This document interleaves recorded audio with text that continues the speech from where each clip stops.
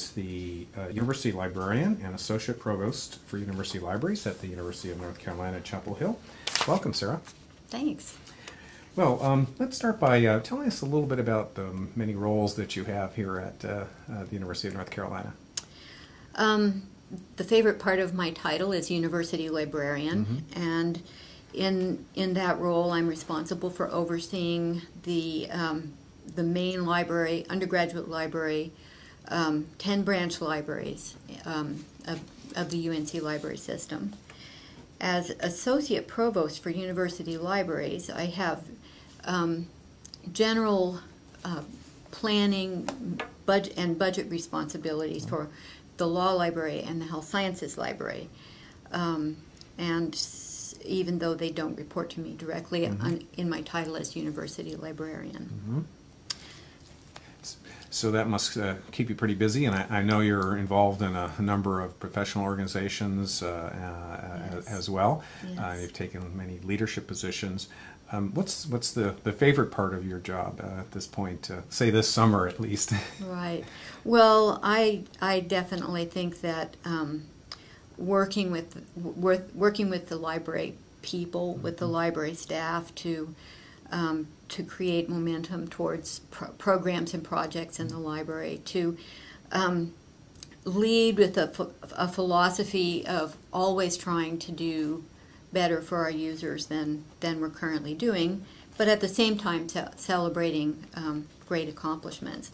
So that that library leadership role um, is is really one of the favorite things that that I do, and um, library librarians and library staff members, wherever they work, are are wonderful people and exciting to work with. I also really love um, the responsibility of working with faculty members and um, and students, and of course at UNC Chapel Hill and faculty. So it's always very stimulating. Um, work with faculty members to make sure that the library is really serving their needs. One of the things that uh, many people are wondering about, and certainly uh, um, our students uh, uh, wonder about and talk about, is what's the role of, of libraries for the future? I mean, we have uh, the, the various search engines out there, the web. Um, the, some people say, well, gee, why do we why do we need uh, libraries? I'm sure you have, have thought about this, and um, um, Well, I think um, as library staff here, um, we have developed a vision about where we're trying to take the UNC Chapel Hill Library for the there are going to be um, multiple responsibilities that as as the world migrates more and more from print and paper based information to electronic information and digital information um, we we are going to have a major transitional role um, in, in helping our user communities um, move among those formats um, to fulfill their information needs. I think that the future of research libraries is is is very bright. For one thing, each major research library in North America, and we sort of always place ourselves in the context of the um, of the major research libraries in North America. Um, each one of us has accepted the responsibility to collect the information regarding their particular place in in our national heritage and um, so in our history and in our national geography and so on. And and uh, collecting that particular material that relates to each library's place becomes a, a very very important for the future. We have to continue doing that. In the case of UNC Chapel Hill, um, we have magnificent collections reflecting the history of the American South in all the formats, uh, specifically a large manuscript collection about um, the, named the Southern Historical Collection. So we will continue to have a primary role in collecting the primary and secondary information about about our area and about our region. We have one of the largest collections anywhere about a single state in our North Carolina collection. Again, far into the future, it will be our responsibility to collect information about um, about North Carolina, no matter what the format. Um, the other piece that I'm seeing evolving um, really strongly, and I think that will be an important part of the research library's future, has to do with academic and information technology.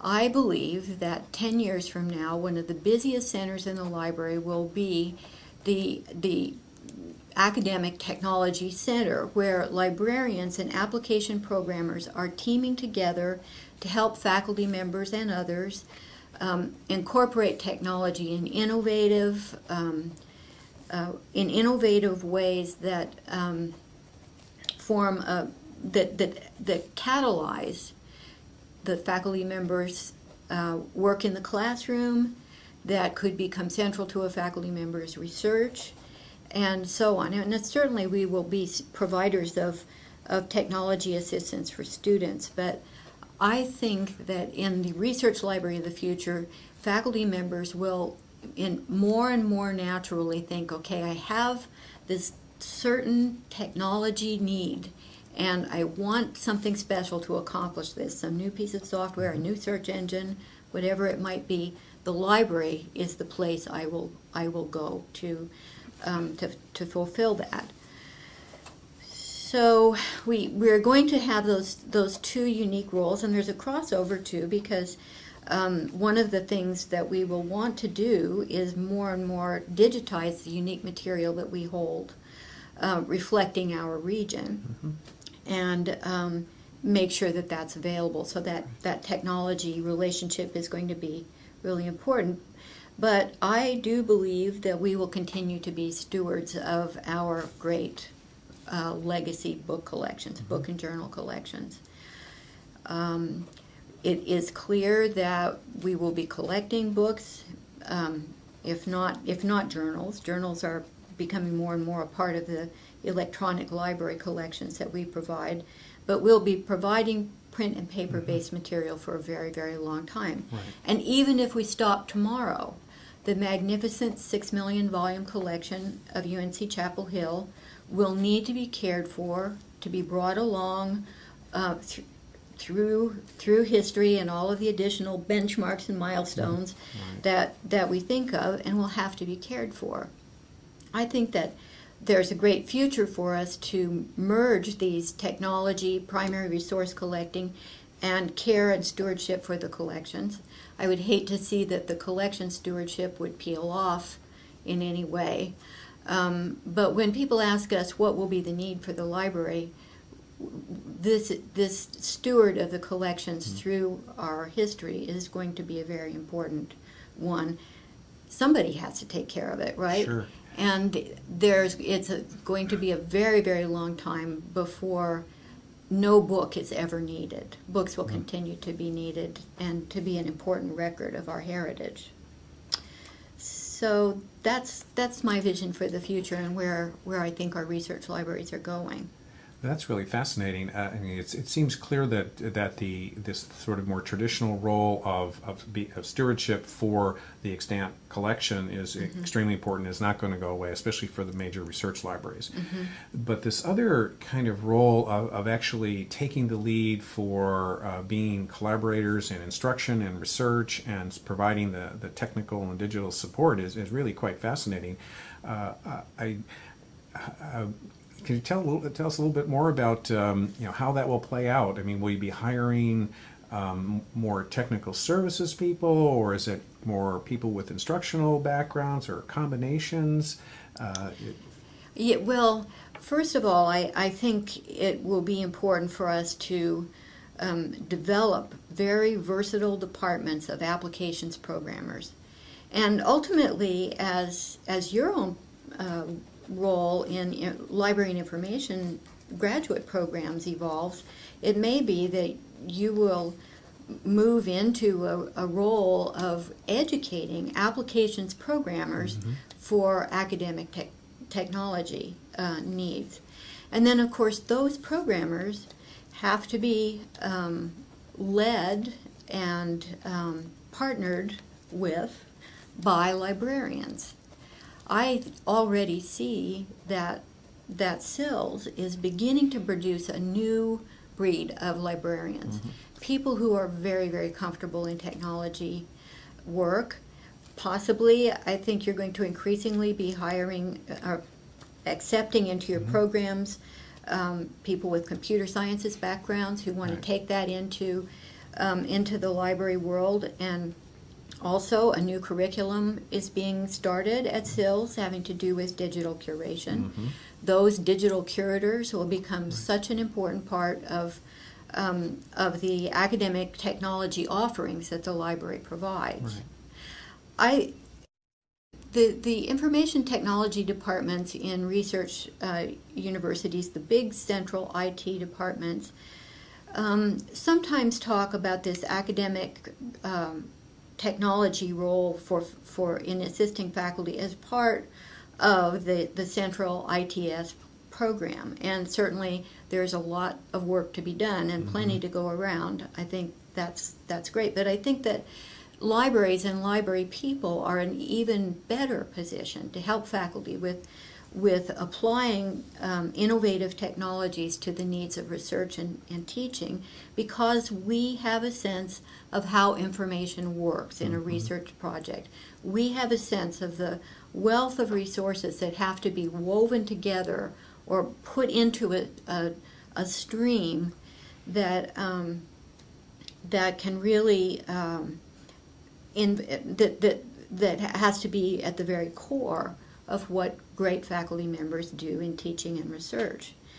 Um, the information technology, the role of information technology staff um, versus the role of library and academic technology staff is is a really interesting mm-hmm. um, overlap. And Gary, you and I served on a committee that had to mm-hmm. do with with the future strategies for development right. of the campus information technology services.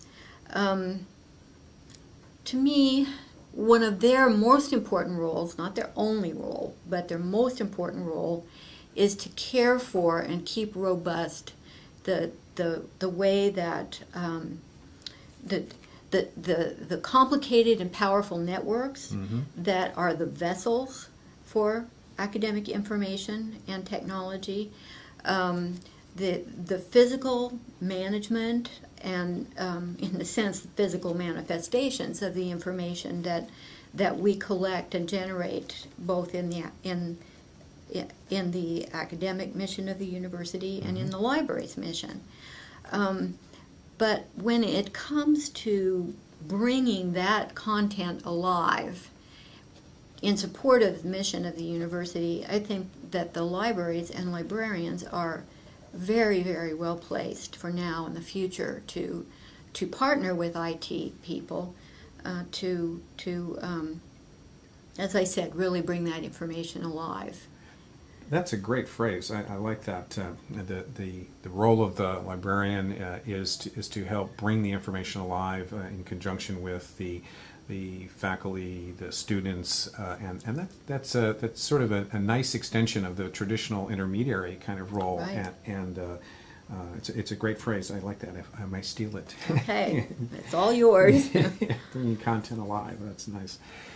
Um, uh, you've been um, um, the the leader on campus uh, uh, in in thinking through the tough issues of institutional repositories and this must fit in with this kind of vision because right. you know you sort of have the, the almost the the best of all those worlds. Right. Uh, you have to deal with the infrastructure, but then you also have to deal right. with this bringing stuff alive and maintaining it uh, alive for for the future.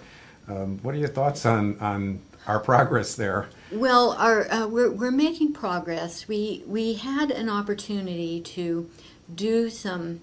We had a fantastic information uh, institutional repository committee, mm-hmm. as as you know, um, that was that is very very dynamic and made so much progress um, in in determining and shaping the institutional repository that we build.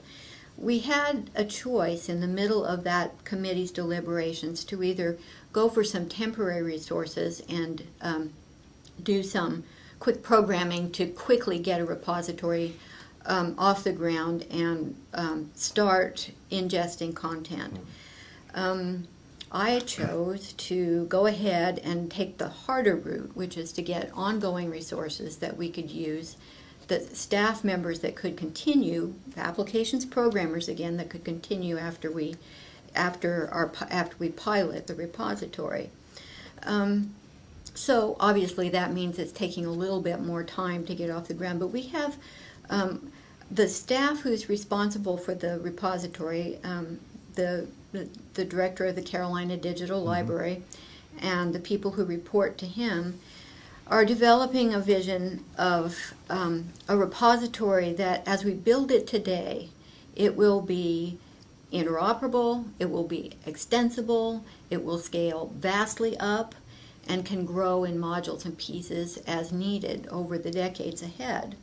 And there we will be able to uh, uh, deposit, faculty members and others in the institution will be able to deposit um, a, a wide variety of information. Um, the, there are several types or categories of information that can end up, and I think will end up going into Carolina's institutional repository. The first kind is, in some ways, almost the easiest kind. Um, information that is has been developed by um, university people, faculty, or whoever that don't fit into the necessary necessarily fit into the patterns that um, that we are accustomed to. It might, they won't necessarily be a printed, published monograph or a journal article or any of the um, academic resources, but um, more more gray literature, for instance, um, um, inter interdepartmental notes and uh, conversations that faculty members have had, that others in the university have had. Um, different kinds of information generated as a result of holding a conference, um, think pieces, lab journals, um, collections of slides developed for maybe for the classroom, uh, both published and unpublished. Um, I even see us being becoming able to accommodate um, co- aggregations of research data that have been generated, either for subsequent use or research data that would be held um, with privacy keys Right. uh, by the repository, so that the the researchers will know that this information is being stewarded and cared for with a purpose over many decades. So this variety of unique material that just doesn't necessarily fit into other traditional categories of information. Um, one example that I'm so excited about um, that will be part of the pilot of our institutional repository is that the director of the North Carolina um, Archaeological uh, Collection here, Vince Steponaitis, has managed to digitize all the field notes back to 1930 Wow. and has digitized pictures taken over all those many decades, photographs taken of the material, and also is um, um, so photographs taken of the of the archaeological sites as well as pictures taken of the objects that the collection contains. Um, this in itself is not a book or a journal. Right. It's not published, but it's a kind of information that exists within the university that's very, very valuable. And um, so this will be uh, digital information in the repository that I think that uh, Professor Steponaitis will want to have fully accessible to the world. And this gets to another role of the inf- institutional repository. UNC Chapel Hill has one of the best academic reputations of any university, especially any public university in in the country. When people get a look at the um, digital information that uh, the archaeology uh, center has has developed, I think that it will really add to the luster of the institution. This is just one example of how that that happens. Then there's a second role for the institutional repository that has been in the conversation in our national um, our national meetings, both um, for library and information science faculty members and for librarians, and that is the institutional repository playing a strong role in um, in the uh, scholarly communications, um, uh, the scholarly communications picture that we that we see developing. If we can be successful in convincing faculty members to deposit um, their papers, perhaps uh, the final version of a paper right before publication, um, or post publication if it's if it's permissible, and other traditional portions of of uh, information generated through research. Um, we could end up having a collection, um, collection in quotation marks, in the institutional repository that really reflects the, the freshest ideas, plus the, the, the, the building of ideas over, over time in a published body of works. That can be reflected in the repository and can reduce the, the uh, can possibly, it's not completely known yet, but could possibly reduce our reliability. I, I mean, I'm sorry, our, our academia's reliance on published journals and, and books. Right. But most especially published journals that fit into the subscription pattern, pattern of, of paying and acquiring. Some very, very hopeful people have thought that um, a, a dense network of institutional repositories among all of the academic institutions in the country, if that ever could happen, would end up uh, supplanting the role of the traditional publishers of scholarly journals and would uh, provide enough competition to break the spiraling price increases. T- to me, I don't. I'm not sure that institutional repositories can can break into the scholarly communications uh, mode in in exactly that way to supplant this other these other methodologies. I do think um, that institutional repository content can be um, subjected to peer review and can be authoritative and scholarly if we if the professors if you all figure out the apparatus for doing that. But um, the scholarly communications roles and the the uh, rare and unique information that is being generated um, non-published information that's being generated at the university these are two major roles that will will be um, very very important contributors overall to the quality of content at UNC Chapel Hill. I think that um, additional additional uses for the institutional repository will develop if we are successful in building the kind of scalable, interoperable repository that that I'm I'm hoping um, we will develop. Faculty members will think about new uses. Um, if if they understand that the repository is something that they need, is a reliable, it can be a reliable partner Exactly. in Right. in the research um, in their research, then things that we're not even thinking of now will come, will arise out of that. Um, I, I do want to mention one thing that I, I slightly referred to, and that is the role of the depository in in holding and curating large bodies of research data Right. um, this is a, a new idea that um, people are talking about these days. Although, as much as 10 years ago, uh, faculty were approaching me and asking if there was any possibility that we could store all of the detailed data that they had generated that is not necessarily used but should not be discarded. Right. And we know that there are faculty members and others who are storing their work in, in, in on stacks of CDs, Right. um, where the repository can really um, make a permanent archive for those things, and uh, deal with all kinds of changing circumstances. If you if you put it into the repository just as you're finishing your research, you might say, I don't want anyone else to have access to this. Ten years later, you might change your mind Right. and say this this could be interesting if more people had access. I'll I'll signal to the repository that that access protocol be changed. Um, of, of, so I, I want us to really consider that the role of a data steward for the institution can, can be a significant part of the of the institutional repository. um, it's up to us to recruit con- faculty content, and that will be the key.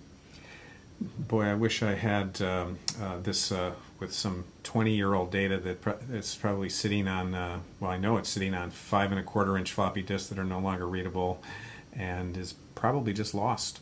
Uh, from 20 years ago, that would be interesting to look at Oh, in today's right, environment. right. Uh, so, this is a grand vision, uh, and uh, I heard an anecdote at a conference last week um, about a faculty member whose method of backing up and storing, curating his data is to save them on CDs and mail them to his mother. Um, who is hanging onto the CDs for dear life, one presumes. hmm, my mother threw all my baseball cards away. right. Yeah, that's that's really interesting uh, how how people um, sort of begin to realize they have to cope with these problems Right. once we have digital information that uh, is you know, very very uh, susceptible to um, um, erasure loss uh, uh, over time. Um, and and so this this notion of data stewardship as part of the institutional repository is is really fascinating. Um, it, one of the challenges I, I guess I faced as I've talked to um, people about this is I'd be perfectly happy to sort of hand over all my stuff. I just don't want to have to add all the metadata and and, and do the documentation. And so uh, you're absolutely right that it, it, it, it's going to take um, faculty thinking in a little bit different uh, way about when they create things at the time of creation and distribution that they can perhaps pass this off and Right. then you don't have this oh my gosh i've got to you know try, try to go back through 30 years of, of, of publications and, and research and try to add it uh, i mean none of us are are, are really going to have that time so it's it's a nice uh, it's a nice collaboration that i think uh, you're setting up with um, faculty and the library I'm, I, I think it'll really work and be um, be a, a good uh, asset for the university. I would like to. It, it seems to me I could be wrong. I haven't done a literature search lately, but it seems to me that there is a strong parallel with university archives and with university records management. And archives, of course, are paper based by and large, but they but university archives do contain all kinds of of media that um, faculty members and others have deposited with their with their collections. So I do think that the same kind of service oriented, receptive, and open attitude that you find in university archives and serious uh, dedication to preserving the intellectual assets of the institution can be applied um, in the institutional repository realm and um, w- with great success. And records management um, methodologies and principles and guidelines can also apply very well. And I'm hoping and predicting that our institutional repositories will successfully step into the records management world. We're not even close to that yet, but um, but the, the, the potential is definitely there. Well, this has uh, been uh, enlightening and um, uh, very helpful, and um, the university is uh, fortunate to have um, um, you with your uh, a, a, really a, a grand vision. And I think the decision to actually take the long and more difficult uh, route vis-a-vis the institutional repository uh, support is is uh, is a good one for us, and uh, look forward to seeing this play out in the years ahead. Good. I, I predict we'll get there. Thank you very much.